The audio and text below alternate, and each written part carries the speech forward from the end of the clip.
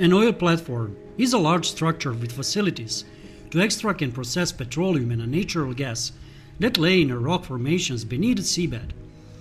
Many oil platforms will also have a facilities to accommodate the workers, although it is also common to have a separate accommodation platform bridge linked to the production platform. Most commonly, oil platforms engage in activities on the continental shelf, though they can also be used in the lakes, inshore waters, and island seas. Depending on the circumstances, the platform may be fixed to the ocean floor, consist of an artificial island, or float. In some arrangements, the main facility may have storage facilities for the processed oil. Remote subsea wells may also be connected to the platform by flow lines and by umbilical connections. These subsea facilities may include one of the more subsea well or manifold centers for multiple wells.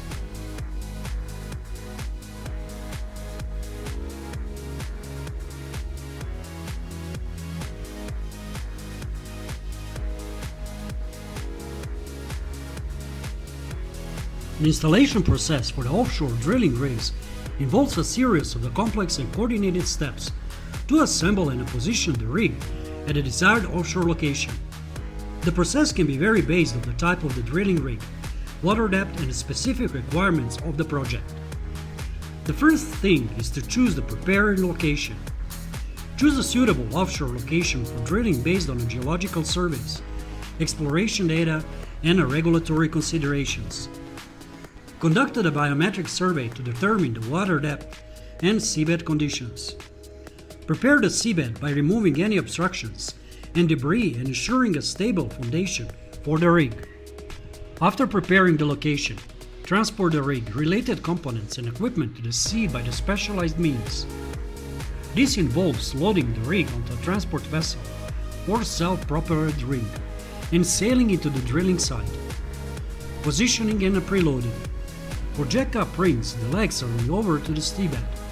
Preloading is often performed when ensure the legs are securely positioned and stable before lifting the rig.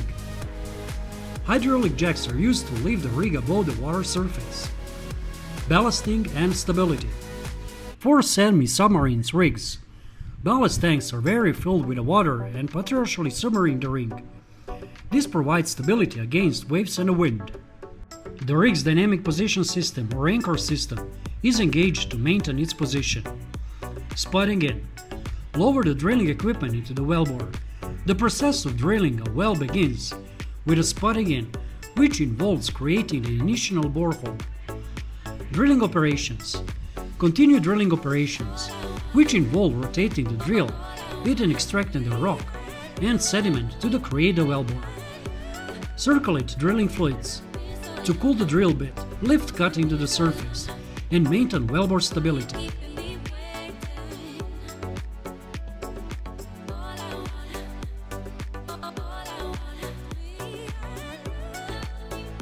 Well control and safety. Implement well control measurements to prevent uncontrolled release of hydrocarbons. Install a blowout preventer. Stack to control pressure and manage the well's integrity. Drilling and completion. Drill through different geological formations to reach the target tank. Depending on the well's purpose, install production casing, complete a well with perforations, and set up production tubing. It is important to note that offshore drilling is a highly regulated and environmentally sensitive process. Companies involved in offshore drilling must adhere to strict safety and environmental standards to minimize the impact of the marine ecosystems and ensure worker safety.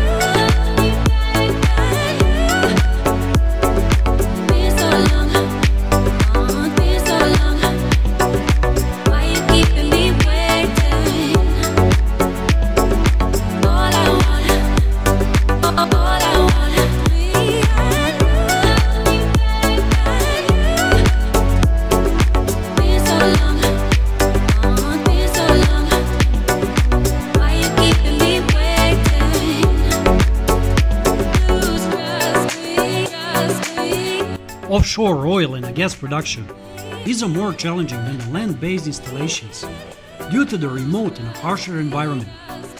Much of the innovation in the offshore petroleum sector concerns overcoming these challenges, including the need to provide very large production facilities. Production and drilling facilities may be very large and a large investment, such as the Troll A platform standing up on a depth of 300 meters.